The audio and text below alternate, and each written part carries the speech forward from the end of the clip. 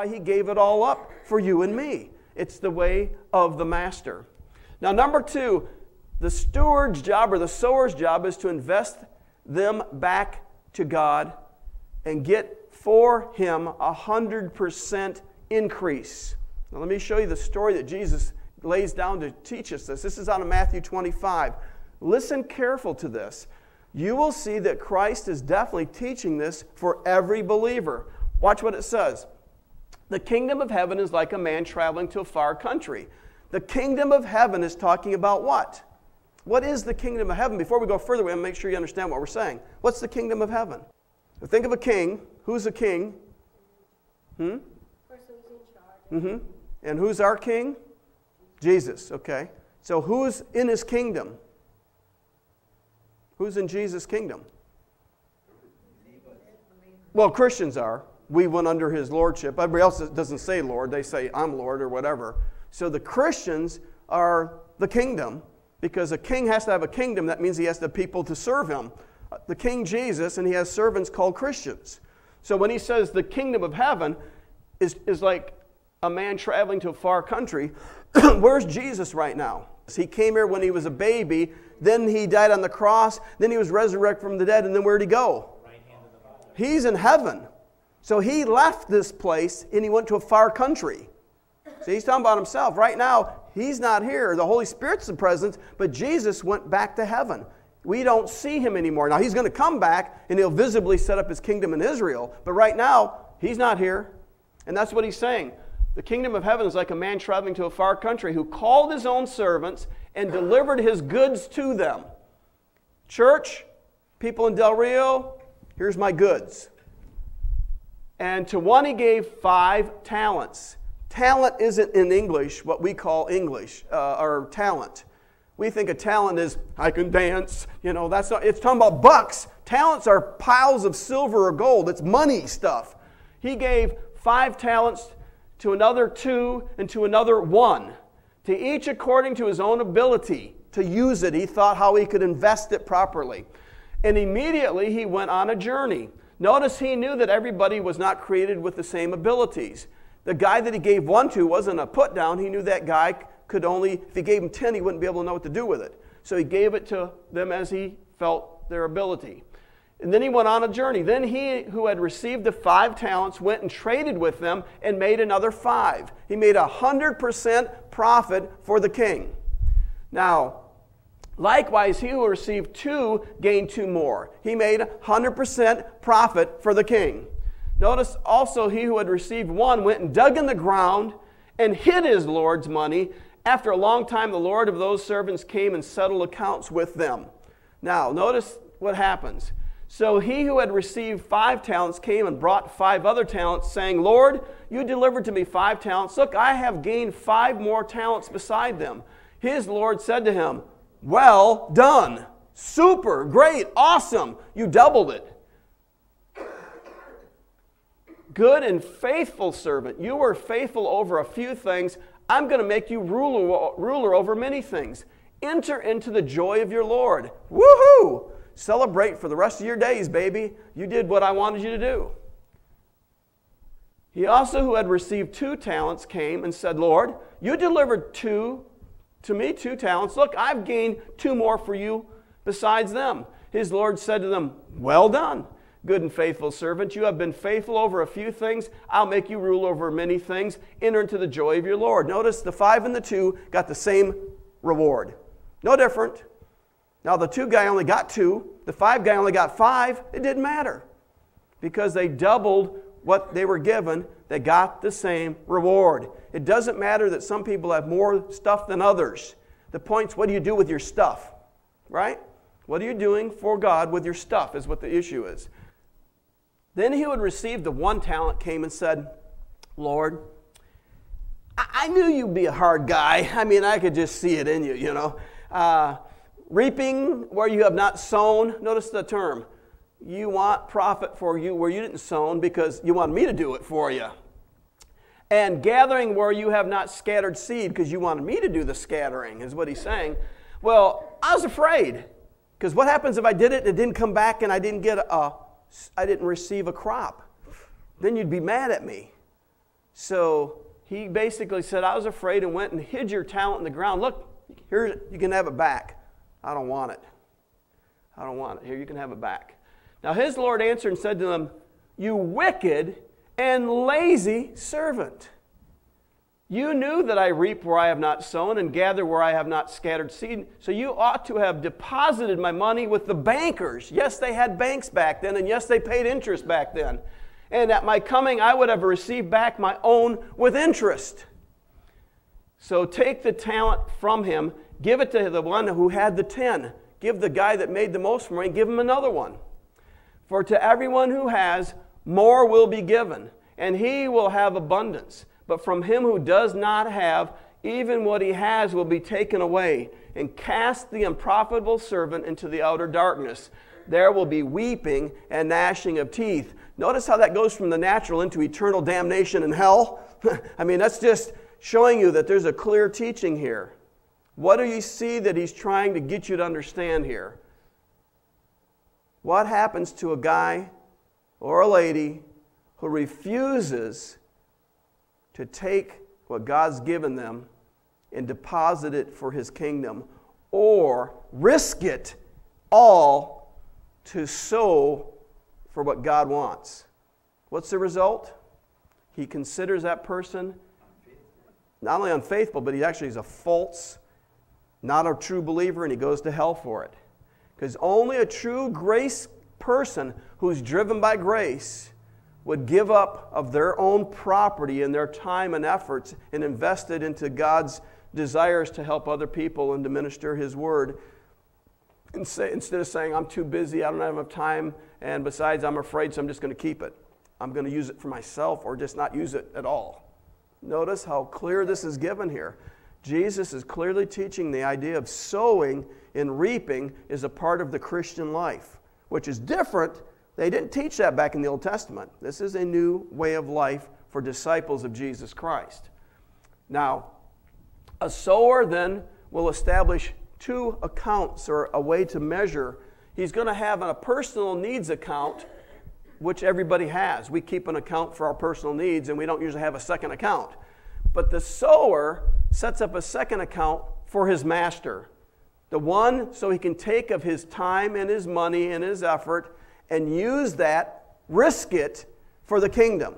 Notice, he doesn't say that you have to give up everything so you starve to death. You still need an account to make sure you have food for your family and clothing and the necessary things. But here's the thing uh, a true sower watches to make sure that he just deals with his needs. If you think of Jesus being God and walking this earth, and as he began to walk in the Spirit, he could have had nice gold chariots to drive around in when everybody else was starving to death. He could have everybody kiss his feet. He could have everybody, you know, wear robes, and he could have had 10,000 angels visible so everybody would see him and awe at the angels walking through town. He didn't do any of that, did he? What does it say he did instead? What did Jesus do instead of being rich and famous like the kings of Israel and Rome? What did he do instead? Yeah, he just kept giving. He, he did, he was a sower. He sowed his life into every person he could get his hands on. He sowed into them health. He sowed into them love and care and the message of the word, and he healed the sick and he raised the dead and he helped those who in need. He always, always, always gave. Didn't ask for, for anything from anybody, did he? He was an absolute grace driven guy who became poor so everybody could be rich when people said, I'll follow you, Jesus, he said, Well, that's kind of dumb to do because I don't even have a house, no place to lay my head. So if you want to follow me, you're going to have to kind of live out in the street like I do because I don't have a house. He became poor. He could have had a house, but he chose not to. He gave up even a house and slept outside so he could give more to those around him. Right? That's what it said.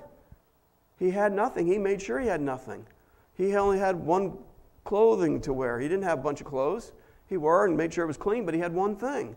He just did not choose to do anything but make himself poor to make others rich. He invested and sowed in the lives of everyone he was around. That's an amazing difference to our culture.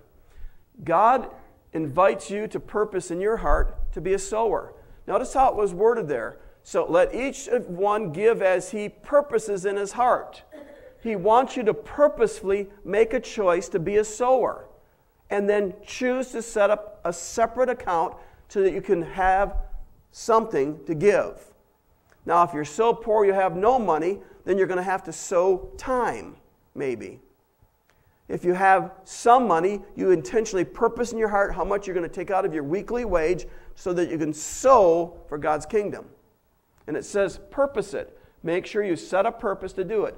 Not grudgingly or, or out of necessity, like the law made you do, the tithe made you do that. He says, For God loves a cheerful giver. But the thing is, it's higher, not lower, than tithing. It's bigger, not smaller.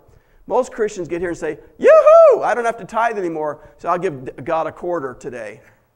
You missed the whole point. You'll never get any blessing doing that. You're never going to see the supernatural grace of God until you see it the other way.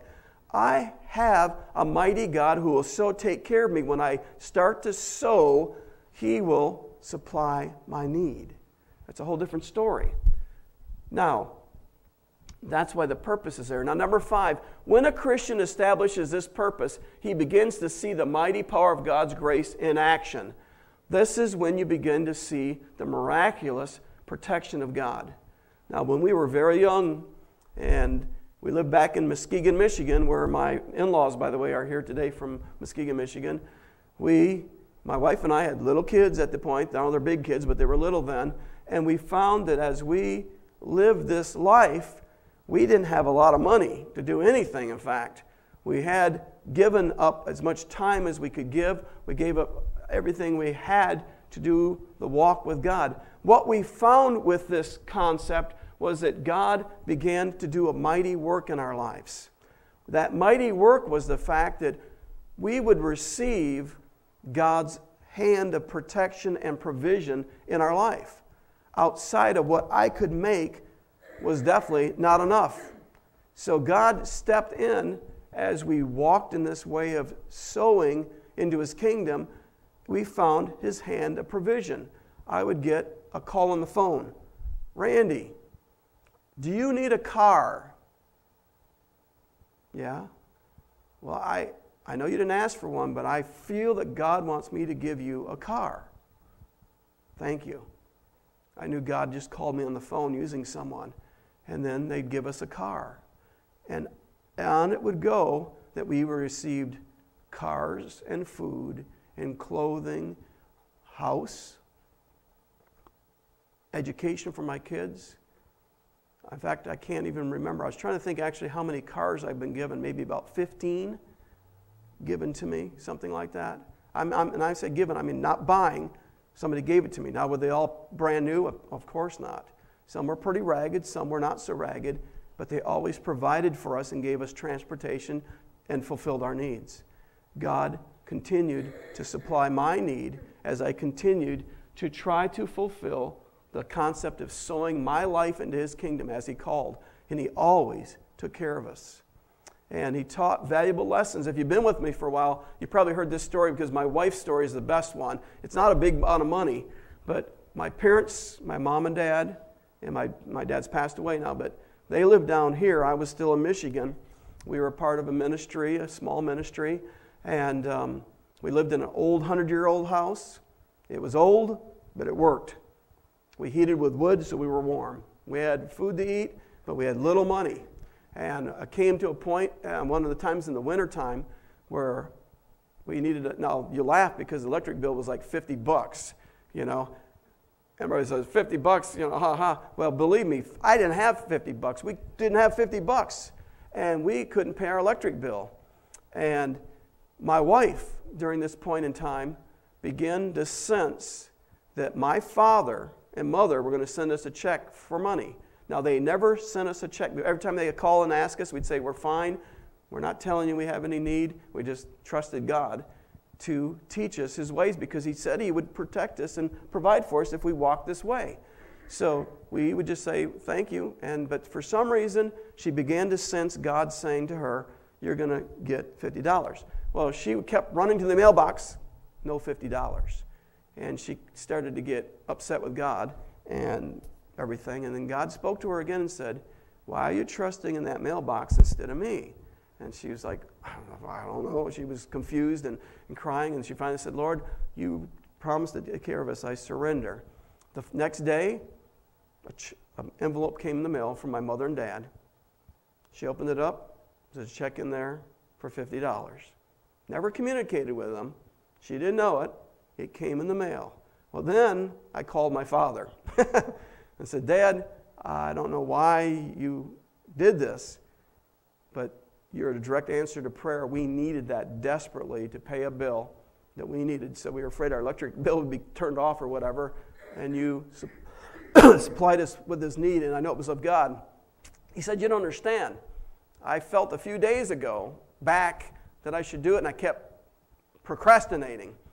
Finally, I was in bed at midnight, and God said, Get out of bed right now and go to the post office and mail that check. So he had to get out of bed in the middle of the night, go down and mail that check. At least that's what he told me. That's right, Mom, right? Yeah. And so it came exactly at the point to teach my wife God's grace. I didn't even know, she, she never even told me that God told her all these things. I was just, you know, until after we got the check. Then she spilled her guts and told me the story. And I was like, wow. But what we learned from it was God says so, He will give you increase. It came not from my hand, natural, it came supernatural, out of the natural. They could not know naturally our need. They felt God compel them. Remember what we talk about grace? What's grace? The impelling desire that God gives you within, and then the ability to accomplish it. God's grace pressed him to rise up out of bed to send that. We did not tell him we had a need. God's grace caused that to happen. His grace connected with it brought us supernatural salvation or solution to our needs. Exactly what I need you to understand. It's got to be a part of your life. This is the only way you'll experience the grace of God. You can hear about missionaries, you can read it in the Bible, but God wants you to walk in His experience. He wants you to know His grace.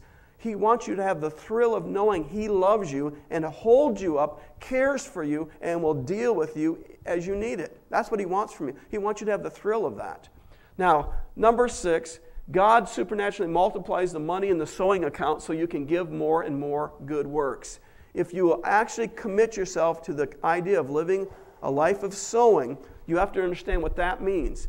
That's not your stuff. It's like working for your boss at work, it's not your money.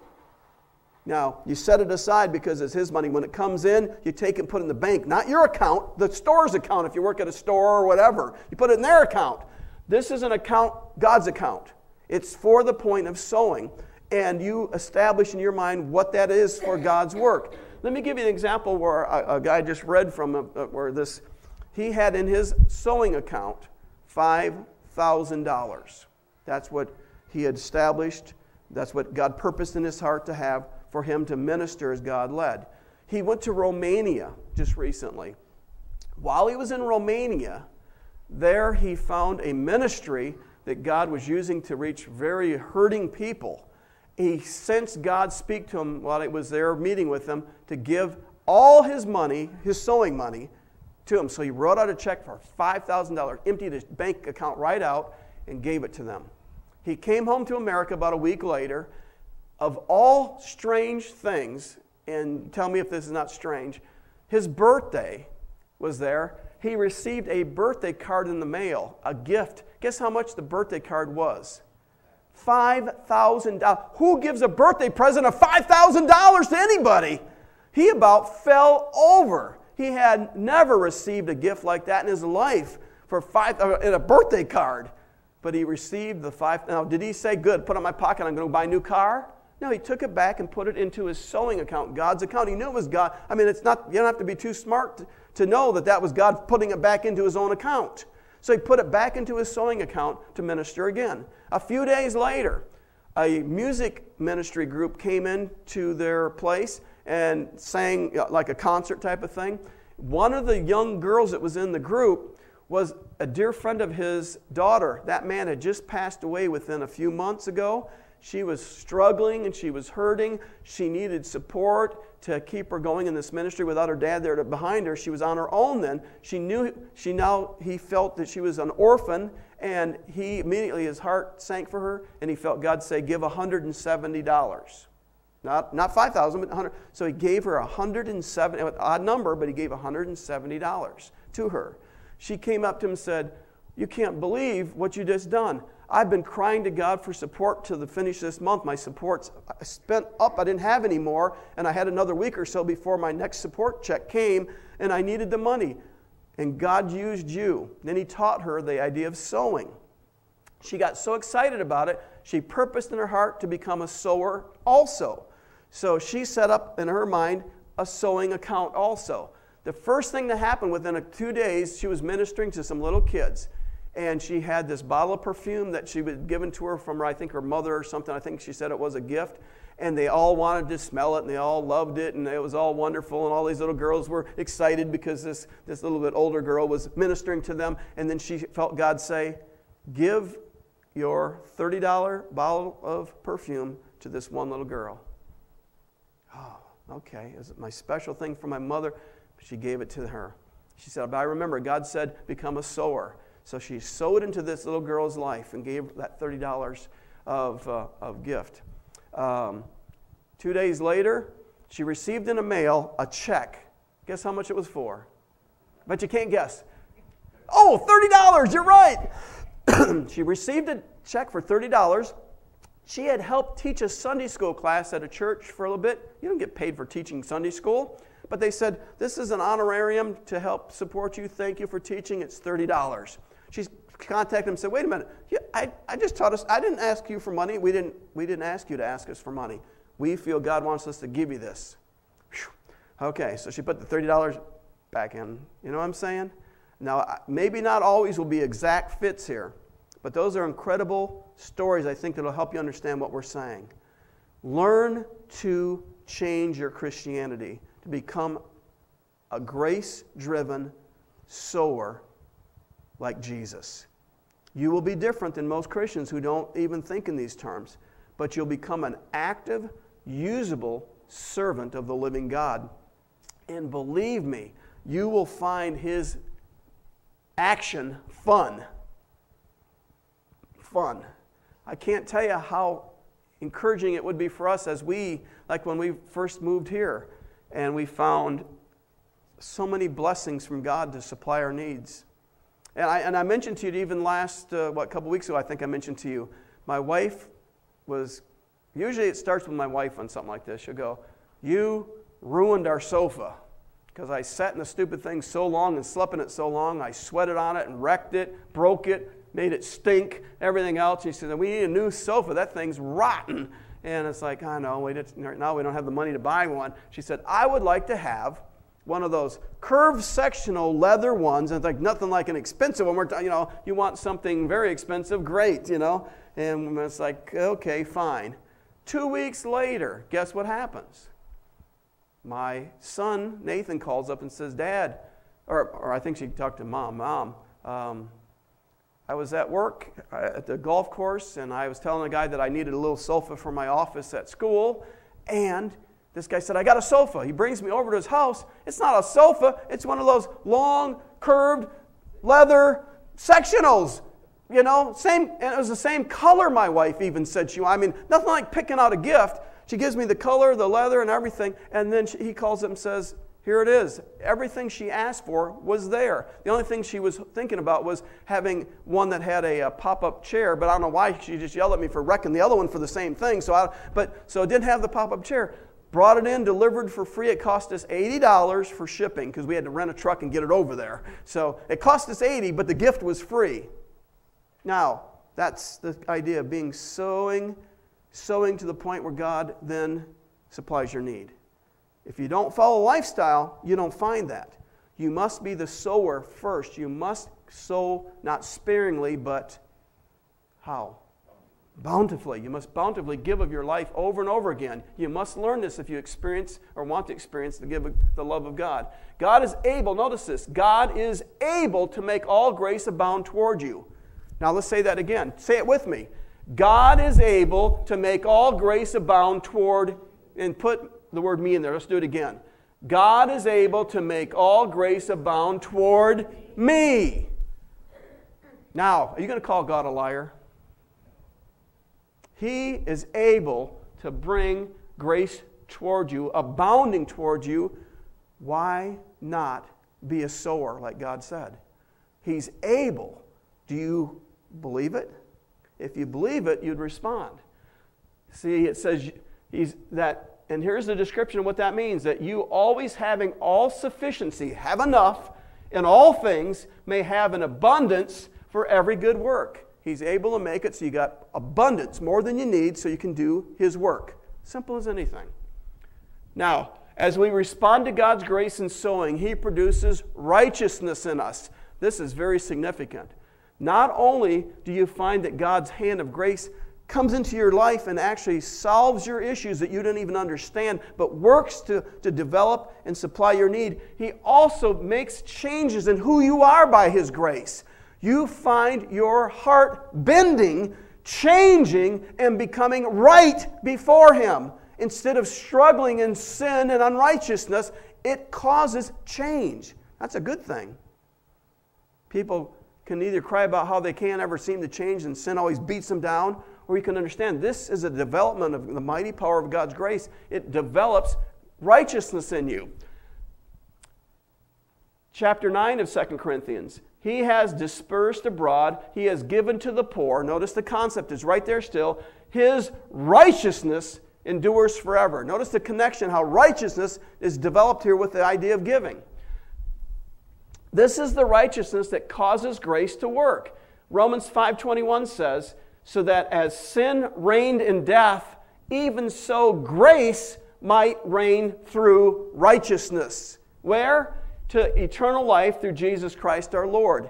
The grace reigning in a believer's life means that it takes precedent and shoves everything behind it does force a change in your life so that righteousness becomes a part of your reality. It's not a dream or a wish. Grace causes you to have an altered heart, a new direction. You do the things that God wants you to do and not wish for them anymore. The hypocrites wish, the believers do. Understand the difference. And grace is that mighty power. Number eight, God supplies the increase supernaturally. He does it beyond description or, or explanation. So he gives extra seed to sow.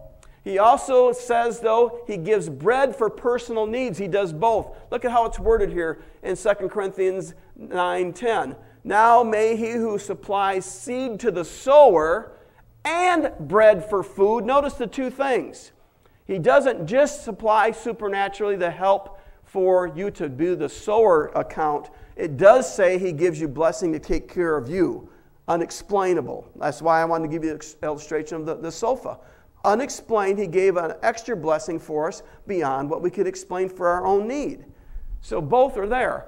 He supplies and multiplies the seed you have sown and increases the fruits of your righteousness. Notice how it connects to righteousness. It increases the fruits of the righteousness inside you, and it causes you to bless others also while you are enriched in everything for all liberality, freedom, which causes thanksgiving through us to God. What's that mean? Couple things. When we sow into the lives of other people, when you actually make those steps of sowing, the amazing result is it causes the people around you to praise and thank God for your blessings to them. When you sow into their lives, they can say and thank God for who you are. You don't give it in your name, you give it in God's name, and God gets glory from that. Secondly, they desire to copy your grace. When they see God work in your life, they say, I want a God like that. That glorifies God. And it also says in another portion of Scripture, they begin to desire to pray for you. Well, that's a good thing. I want people to pray for me, don't you? We ask for prayer. This causes people to pray for you. Now, number 10, greater blessings come from this type of life than from the blessings of those that had the old fashioned tithing. These are more abundant blessing. I want you to see it. Why? It's the better road. It's the better grace. You get more blessing than they had. Now, just like in the Old Testament, the Lord rebukes the devourer of our assets, just like he did in the Old Testament, it says.